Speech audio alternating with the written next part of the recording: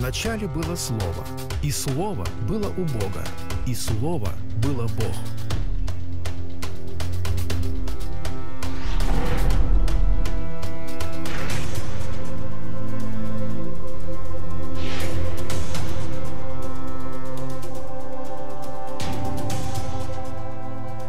John 4 is amazing. John 4 is monumental. John 4 is mind blowing. Перед нами поразительная глава.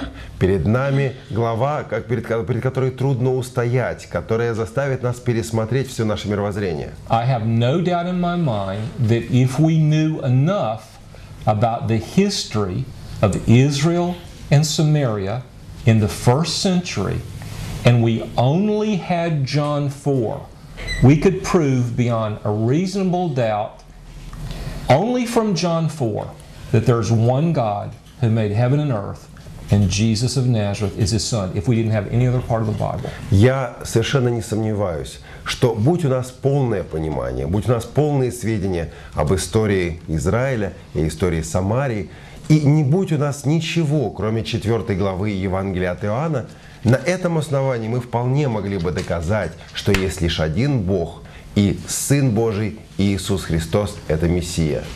If we knew enough, if we study enough history of that place in that time, Если бы мы достаточно знали, в достаточных подробностях знали историю этого времени, этого места и жизнь в это время. Now, at the end of John's Gospel, in chapter 21, John reminds us that, there, that he's not reporting everything that Jesus said and did. В последней 21 главе своего Евангелия Иоанн напоминает нам о том, что не все слова и дела Иисуса вошли в его повествование. As a matter of fact, he said, you know, if we wrote down everything he said and everything he did and really discussed the implications of everything he said and did, all the books in the whole world would not contain the report. Он говорит, вы знаете, если бы мы записали все, что он сделал, и все, что он сказал, и записали бы, обозначили бы все следствия, все выводы из того, что он сделал и что он сказал, то, думаю, всех книг в мире не хватило бы, чтобы это вместить. All history is necessarily selective. You can't report everything. Всякое историческое повествование по определению избирательно. Все не вместить. We have 30 parables reported, we have 35 miracles reported. You can be sure there were many more parables, there were many more miracles. Нам известно 30 притчей Иисуса Христа, нам известно 35 чудес, совершенных Христом. Можно поручиться, что и притчей, и чудес было существенно больше.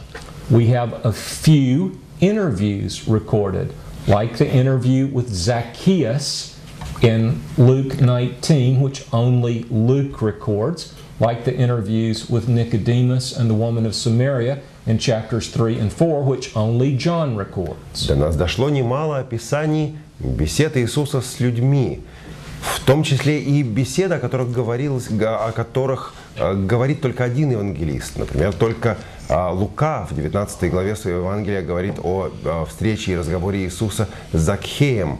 Только Иоанн говорит о беседе Иисуса с Никодимом в 3 главе и о беседе с женщиной-самарянкой в 4 главе. You can be sure that there are many other interviews which we don't know about. Несомненно, были и другие беседы, о которых мы не знаем. But the evangelists have chosen selective interviews with selective representative people to cover certain kinds of categories. Евангелисты выбрали только некоторые интервью, только с некоторыми людьми. Каждое из этих интервью говорит о совершенно конкретных темах. Now, Nicodemus is one kind of person. The woman in Sam- of Samaria is a very different kind of person. И вот перед нами два совершенно разных человека. С одной стороны Никодим, с другой стороны Самарянка. Does Jesus have the solution for a man like Nicodemus? Знает ли Иисус, что делать такому человеку, как Никодим? A man who is famous, a man who is celebrated, a man who is held high. Человеку известному, влиятельному, признанному? Yes, he does. Конечно, знает. Does Jesus have the solution? Does Jesus have the answer for a woman like the woman of Samaria? A woman who's very low, a woman who would not have been held in high esteem. Есть ли у него, у Иисуса, что сказать самарянке? Самарянке, которая живет в низах общества, которые пренебрегают? Yes, he does. Конечно, есть. Will the medicine given to Nicodemus heal? Yes.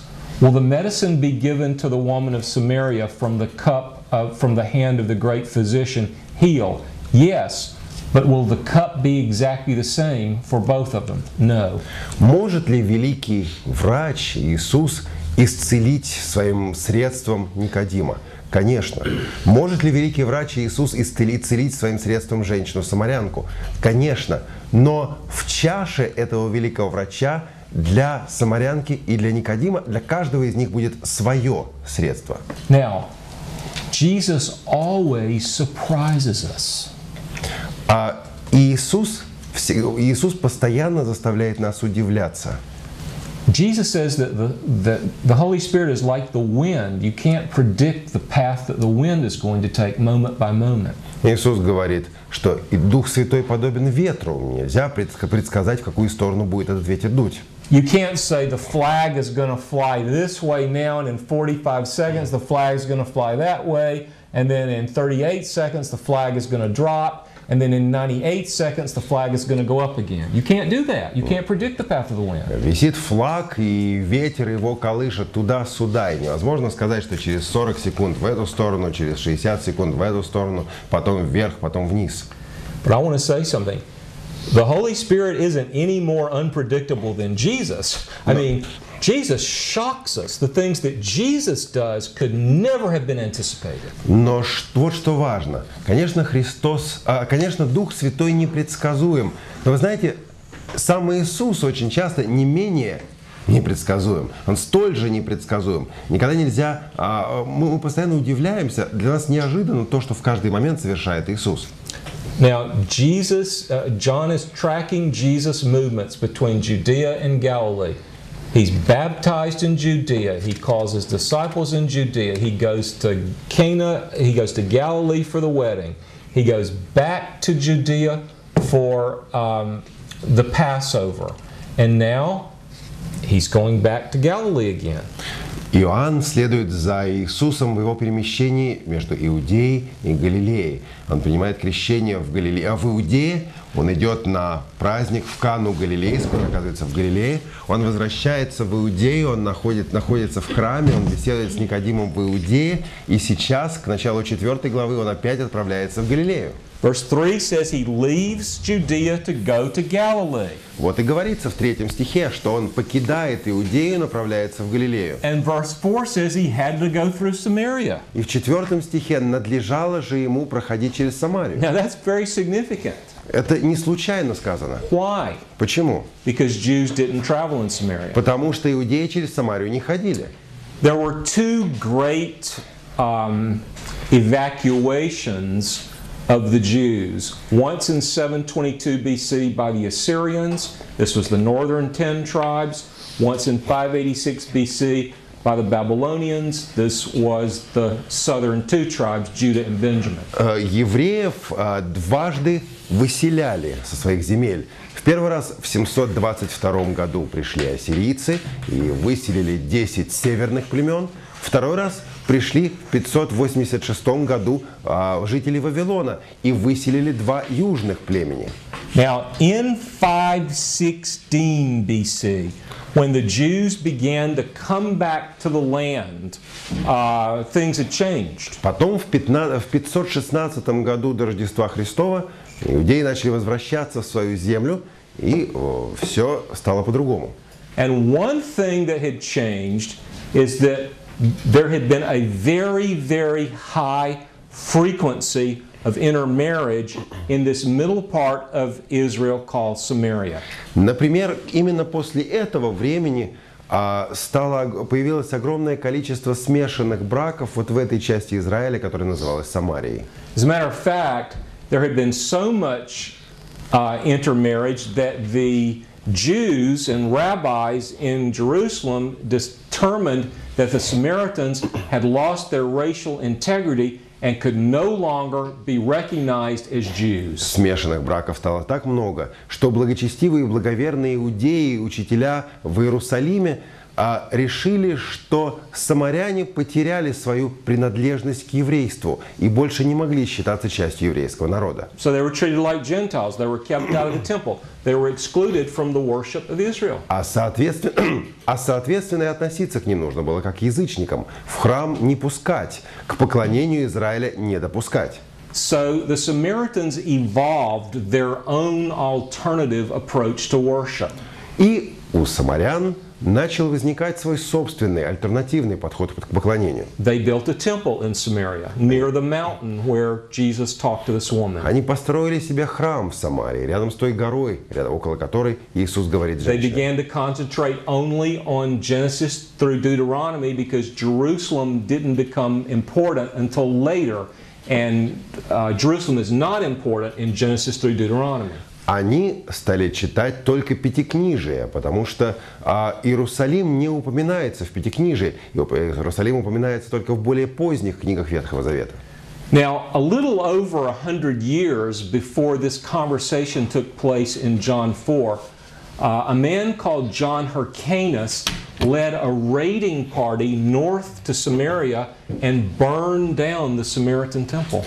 А чуть более чем за сто лет до разговора Иисуса с женщиной-самарянкой человек по имени Иоанн Геркан повел военную кампанию со стороны иудеев, повел военную кампанию против самарян, напал на самарян и разорил Самарию. So, what the Jews were saying is not only can you not worship at our temple, you can't even worship at your temple because we're not going to let you. А разорив а, Самаря- храм Самарии, Иоанн Геркан, как представитель еврейского народа, сказал примерно следующее, что вы не будете приходить э, поклоняться в наш храм, но мы не дадим вам поклоняться и в вашем храме. As you can well imagine, things were really bad between the Jews and the Samaritans. Представьте себе, сколь, напря- представьте себе, сколь напряженными были взаимоотношения между иудеями и самарянами. Things were so bad that when a Jew went from Judea to Galilee, he would not go through Samaria. Дошло до того, что, а, направляясь из Иудеи в Галилею, правоверные евреи обходили Самарию стороной. He would cross over to the east side of the Jordan River.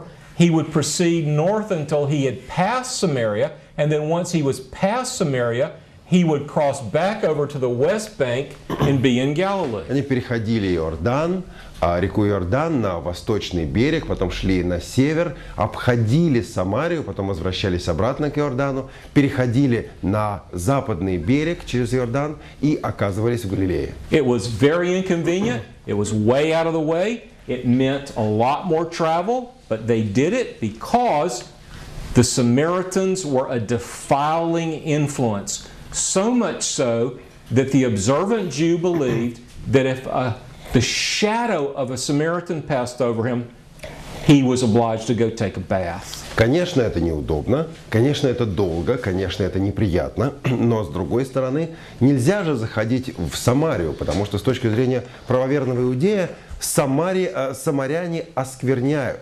Даже если случайно тень самарянина падала на и у правоверного иудея, он считался ритуально нечистым и должен потом был пойти и пройти ритуальное омовение. So the rabbis taught that contact with Samaritans meant contamina- contamination. So to avoid contamination, you avoid contact. But verse 4 said that Jesus went straight, straight through Samaria. He went the direct route into the land of the Samaritans. Раввины учили, что общение с самарянами ведет к ритуальной нечистоте, к религиозной нечистоте. А чтобы избежать нечистоты, нужно избежать общения с самарянами. А Иисус идет через Самарию. Надлежало же ему проходить через Самарию. Verse 6 says he got tired. Шестой стих, он устал, мы читаем. So he sat down beside Jacob's well. А он сел около колодца Якова. It was high noon, 12 o'clock, straight up, lunchtime. Было около шестого часа, а, если пересчитать время так, как его сейчас считают, это был полдень, самое жаркое время дня, потому что они His disciples went into town for lunch. He waited. Пора было пообедать, перекусить, и ученики пошли в город купить еды. Он остался их подождать. Why did he go into? Why did he wait? Why didn't he go to lunch? Почему же он не пошел сам перекусить или не пошел сам чего-то купить? Well, maybe because he was so tired. Чего же он ждал? Ну, может быть, он остался, потому что устал, у него сил не было идти. Не было идти. But that's not all. Я думаю, что это не все. Maybe because he knew they were going to bring him lunch. Может быть, он знал, что ему принесут покушать. But that's not all. Но я думаю, что это не все. He waited because he was waiting on her. Он ждал ее. He waited because he knew she would be there. Он ждал, потому что знал, она придет. I'm a missionary. Я миссионер.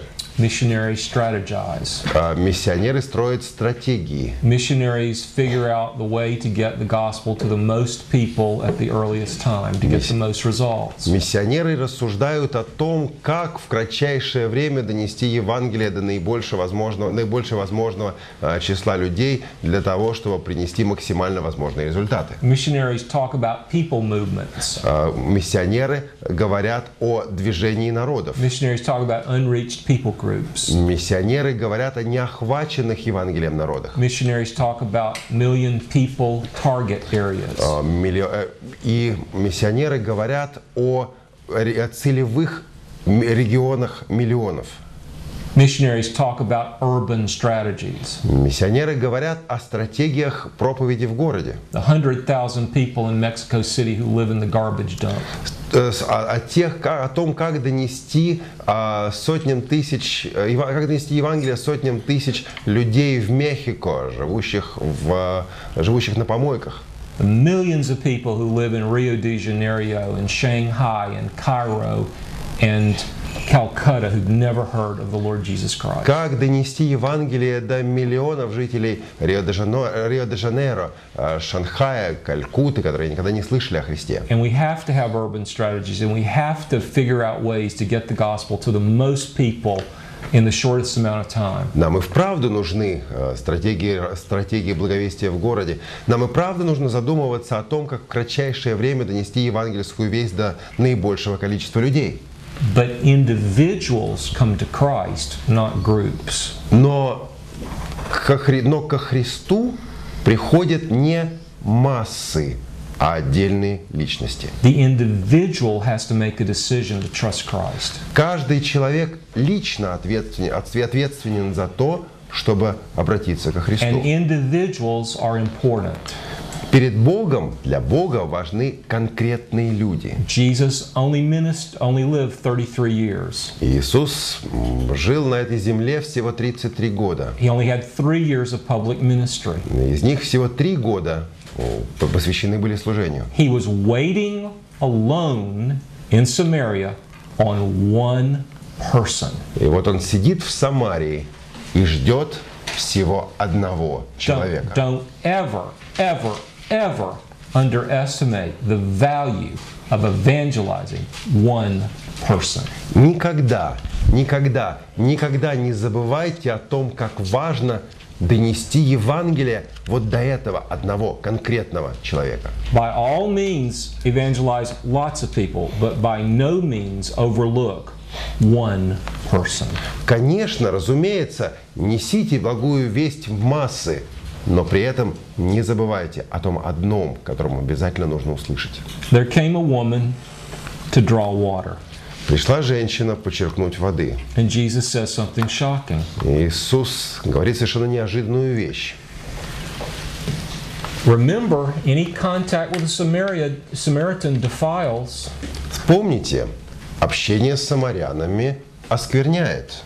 And in verse 7, he says, Give me a drink. А в седьмом стихе он говорит «дай мне пить». So, you know what that means? Знаете что? Give me a drink out of your cup. Из чего пить? Из того ведра, с которым ты пришла. You know, I would have expected Jesus to say to Nicodemus, Would you give me a drink out of, my, of your cup? And I would have expected him to say to the woman of Samaria, You need to be somebody else. But he did just the opposite. Я бы э, ожидал, я бы не удивился, если бы Иисус, говоря с э, Никодимом, попросил у него, слушай, дай мне напиться, из твоей чашки можно, без проблем. Я бы не удивился, если бы Иисус сказал самарянке, надо бы на тебе родиться свыше, ты вообще не такая какая-то.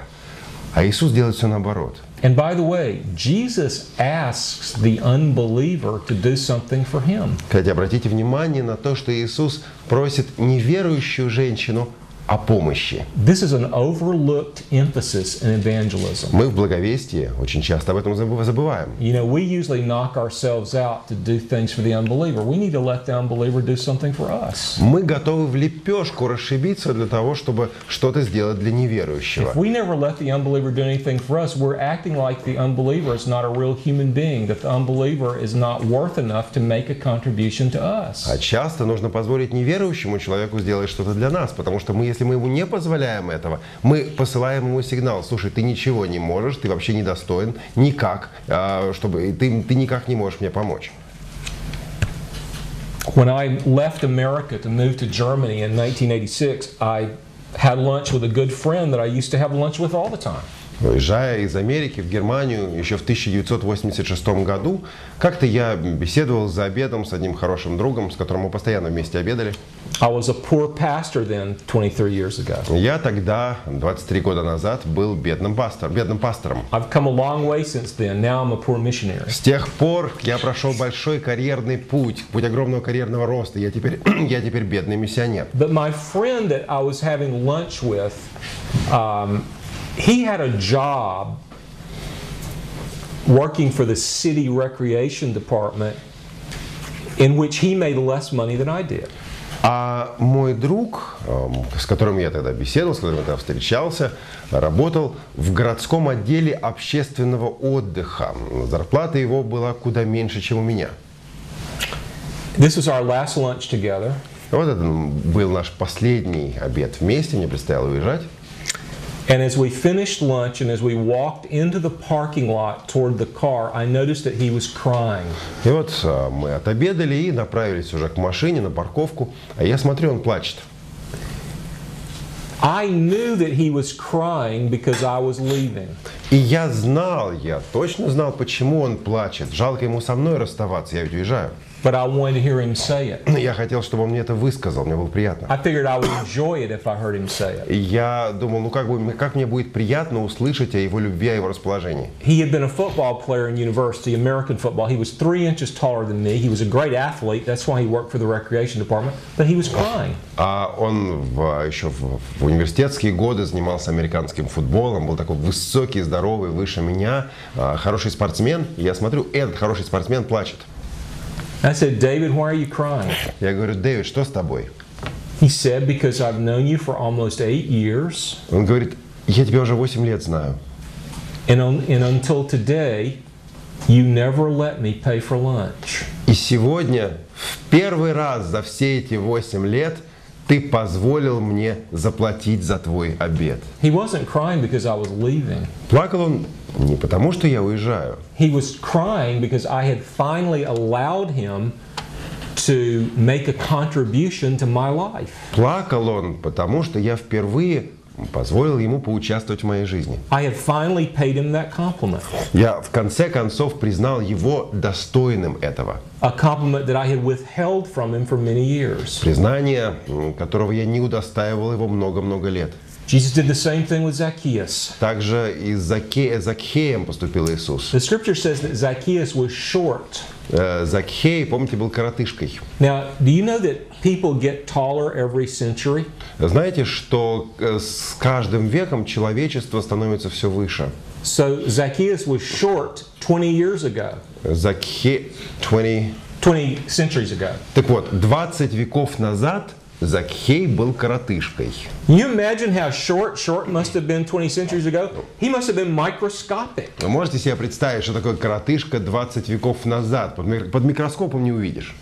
And how many conversations do you think Nicodemus ever had with an adult when the adult was looking up at him? Как часто Закхею случалось беседовать со взрослыми людьми, которые смотрели на него снизу вверх? Никогда. but the first conversation, Снизу вверх, снизу вверх. the first conversation that he has with the Messiah of Israel, the Son of God, God Almighty come in the flesh, God Almighty come in the flesh talks to Zacchaeus while he's looking up at him. И вот в первый раз Закхей встречается с Иисусом Христом. И в первый раз в жизни а он а, в первый раз в жизни Закхей, поскольку он на дереве, смотрит сверху вниз. Он смотрит сверху вниз на Бога, на всемогущего Бога, Творца неба и земли. Think about that. Задумайтесь. And what does he say to him? И что говорит э, Иисус Закхею? He says, Let's have lunch. You buy. А, Let's go to your house. Иисус говорит Закхею, слушай, слезай с дерева, пойдем пообедаем за твой счет. То есть, говоря, говорит, к тебе домой приду. You know that when they go to his house, Zacchaeus is going to feed him. Э, Понятно, что платить за все расходы будет Закхей. What an amazing thing that Jesus begins the evangelistic conversation by letting the unbeliever do something for him. Представьте себе, Иисус начинает благовестие, позволяя неверующему человеку поучаствовать в его жизни. Give me a drink. «Дай мне пить», — говорит он. Now, we don't usually talk about this at church, but we're going to talk about it now. Скажу сейчас о том, о чем в церкви говорить не принято, а здесь можно. She asks him in verse 9, Why are you talking to me like that? After all, you're a Jew, I'm a Samaritan. After all, Jews don't talk to В Samaritans. девятом стихе женщина самарянская говорит ему, «Как ты, будучи иудей, просишь пить у меня самарянки? Как ты заговариваешь со мной самарянкой? Иде- Иудеи этого обычно не делают». Now, here's the thing we don't talk about at church. Вот о чем мы не говорим в церкви. She thought she knew the answer to that question. Она, ей казалось, что она уже знает, зачем этот му- мужчина с ней заговорил. She had had some experience with men. Она знала мир мужчин. As a matter of fact, she had only had one kind of experience with men. Причем знала их преимущественно только с одной стороны. In her experience, in her thought world, there could only be one reason why a Jewish man would be speaking personally to her, asking her to share a drink with him while they were alone. Насколько она знала, насколько она могла себе представить, мужчина-иудей может начать разговор с ней, с самарянкой, и попросить у нее а, попить только по одной причине. In her world, there's only one explanation. There can't be another explanation. Для нее с этим мужчиной все понятно, по-другому и быть не может. But there is, Может. because there's never been a man like this. Потому что другого такого мужчины There's never been a Нет. Jew like this. There's never been a man like this. нет ни одного другого такого мужчины, нет ни одного другого такого иудея. And do you know what? I think she sensed immediately that he loved her. Я думаю, что она сразу же поняла, сразу же почувствовала, что он любит ее. But she could only imagine one kind of love from a man that age. Но она понимала только один вид, только одно проявление мужской любви. She thought she knew him. She thought she knew his type, but she didn't. There had never been a type like this. Ей казалось, что она его раскусила. Ей казалось, что она знает, что он за мужчина. Она ошибалась, Потому что другого такого не было. She thought she understood him, but she didn't. Ей казалось, что с ним все ясно. You see, Она what, ошибалась. what she did is she put him in a stereotype. Она смотрела на него с точки зрения своих стереотипов. The, ty- the stereotype of a Jew, the stereotype of a man. Она его классифицировала как еврея, мужчину. The world stereotypes Christians. У мира тоже есть стереотипное восприятие The христиан. world stereotypes priests or pastors. Стереотипное восприятие священнослужителей, пасторов. Probably the greatest English novel ever written is the novel Pride and Prejudice by Jane Austen. Во всей британской литературе величайший ром- из романов, написанный британским писателем, э, британской писательницей, это, пожалуй, э, «Гордость и предубеждение» Джейн Остин. There are lots of films made from Pride and И, Prejudice. кстати говоря, есть немало экранизаций этого произведения. Probably the biggest fool in all of English literature is in Pride and Prejudice. И, пожалуй, величайший, и, пожалуй, величайший идиот во всей английской литературе Это как раз один из персонажей гордости и предубеждений. предубеждения. His name is Mr. Collins. Это, конечно же, мистер Коллинз. Guess what his job is? А угадайте, кто он по профессии? My job. Да вот он мой коллега. He's the minister. Он служитель. The minister is stereotyped as the fool, Стереотип служителя – придурок. the hypocritical, weak, contemptible fool. Он мерзкий, отвратительный слабак. The world will Лицемер. stereotype you because you're a believer. The world will make certain assumptions about the way you are because you're a believer. Зная, что вы человек верующий, мир будет смотреть на вас с точки зрения своего стереотипа а, и строить некоторые догадки по поводу того, что вы за человек. Make sure you don't fall into those stereotypes. Не попадайте в эти стереотипы, не соответствуйте им. You're to be made like Jesus, not the stereotypes that unbelievers have of Christians. Ваша задача преображаться согласно по образу Иисуса Христа, а не исходя из того, кого хочет вас видеть этот мир. Now, she thought she knew him, Ей казалось, что она его раскусила. but in verse 10, Jesus says, You know, if you knew me, things would be different. А в 10 стихе он говорит ей, если бы ты знала дар Божий, и кто говорит тебе, если бы ты знала, кто говорит тебе, все было бы иначе. Если бы ты знала, кто говорит тебе, ты бы так со мной не разговаривала. Verse 10 If you knew the gift of God and who it is who says to you, Give me a drink, you would have asked him and he would have given you living water. It's amazing the way Jesus talks about himself in the third person. How great is his status that he often talks about himself in the third person. Если бы ты знала дар Божий, и кто говорит тебе «дай мне пить», то ты сама просила бы у Него, и Он дал бы тебе воду живую. Поразительно, как Иисус говорит о себе в третьем лице. Сколь велик должен быть Он, чтобы говорить о себе в третьем лице. If you knew the gift of God, Если бы ты знала дар Божий, there are many, many ways to share Christ. Христа, а о Христе можно возвещать по-разному. We have lots of methods and techniques in the West. You probably have many methods and techniques in Russia. Каких только способов и подходов не придумали на Западе, каких только способов и подходов не придумали здесь, в России. Sometimes we talk about four laws, and sometimes we talk about a bridge. Кто-то говорит о четырех духовных законах, кто-то пользуется мостом, аналогией моста. Sometimes we ask people if they know for sure that they would go to heaven when they die, and that's how we begin. Кто-то начинает разговор с вопроса, если бы ты сейчас предстал перед Богом, уверен ли ты, что Он взял бы тебя к себе в небеса? There are all kinds of ways to do it. А начать можно по-разному. But one thing has to stay the same, or it's not the gospel. Но чтобы Евангелие осталось Евангелием, нужен, по крайней мере, один неизменный компонент. We have to make sure that people understand that it's a free gift. Нужно убедиться, чтобы люди, что люди поняли. Бог предлагает прощение даром. They can't earn it, they can't deserve it. Его не заработать, его не заслужить. It's a gift. Даром.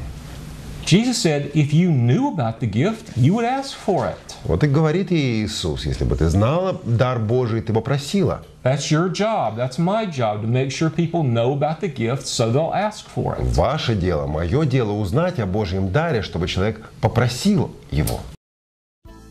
Понравилась лекция? Вдохновились услышанным? Поддержите нас молитвой и финансами.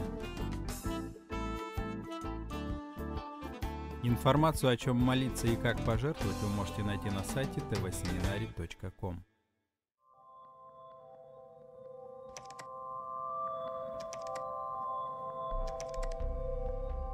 Ищите нас в поисковых системах по запросу ТВ Семинарий.